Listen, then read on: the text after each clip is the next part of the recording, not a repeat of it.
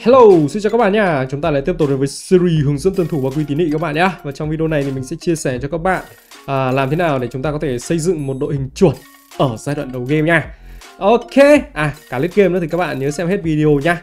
Thì các bạn có thể thấy được là tựa game chủ đề về Tam Quốc và mặc dù đội hình của chúng ta có thể ra trận được 6 vị tướng nha các bạn. Tuy nhiên là build giai đoạn đầu á thì chúng ta chỉ nên build 5 vị tướng thôi nó tương đương với cả 5 phe ở đây nha các bạn. Thì mỗi phe các bạn chỉ lựa chọn ra một vị tướng để build mà thôi.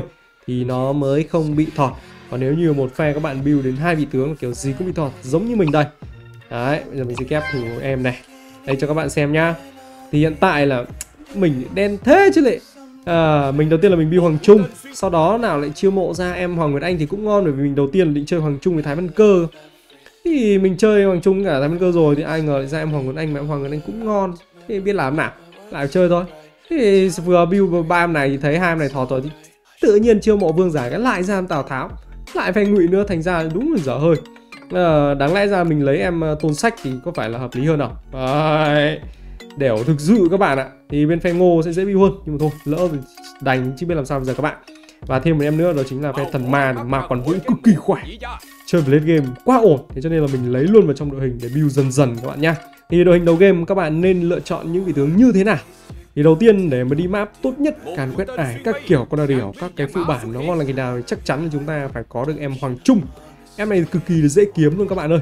Trong một số hoạt động có thể nhận được này hoặc là ở trong cái phần là quán rượu này chiêu mộ ra. Đấy mình cũng chiêu mộ được hai em ở trong phần quán rượu này các bạn này đấy thế cho nên là mình cũng nâng cấp em nó lên đỏ hai sao rồi. Ê, mình còn à, thiếu một em tướng đỏ bên phe thuộc cũng thôi là thậm chí nâng cấp em nó lên 3 sao ngon đấy chứ.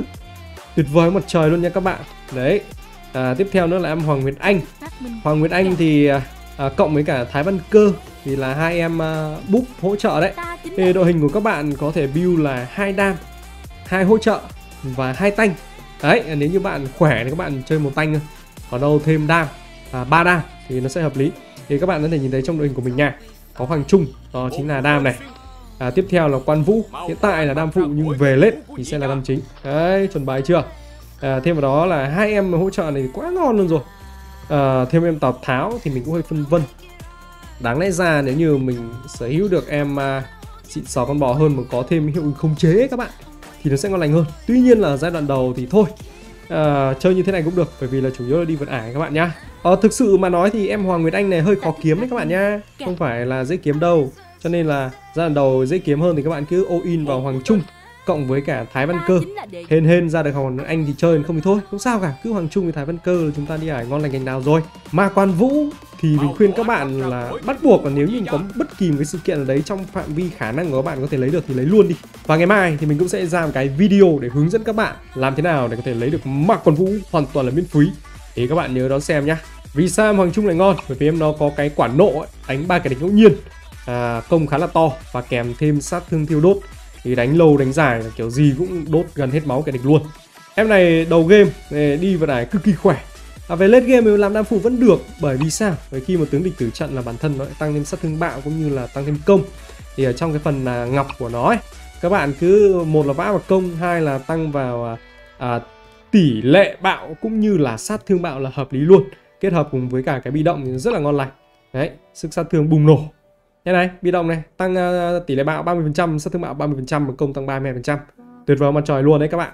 Em này còn có thêm cái khả năng hồi máu ở cái uh, skill chiêu thức đầu tiên nữa các bạn nhé thì nó tuyệt vời mặt trời luôn có khả năng có quay đi vào này quá tốt. Còn em Thái Văn Cơ thì là một trong những em mà có khả năng búp máu rồi các bạn nhá. Đấy búp khá khá máu đấy. Thì uh, sẽ bảo kê tốt hơn cho Hoàng Trung còn Hoàng Nguyễn Anh thì khỏi nói rồi Tướng này cực kỳ xịn các bạn ạ. Em này đúng là bịch máu di động rồi, Công thì cũng to, mà hồi máu thì gọi là khủng khiếp luôn. Hồi cho toàn thể đồng đội mà. Cho nên là em này cực kỳ phê luôn các bạn ơi. Nếu các bạn là nông dân đặc sệt thì các bạn cứ chơi Hoàng Trung, Thái Văn Cơ dễ nhất các bạn nhá. Còn lại thì mấy em kia các bạn cứ ra được em nào á, Mà nó ra nhiều có thể nâng sao được thì các bạn nâng luôn. Còn về sau thì chúng ta sẽ đổi dần. Các bạn cứ nâng lên tầm 3 sao đỏ thôi nhá.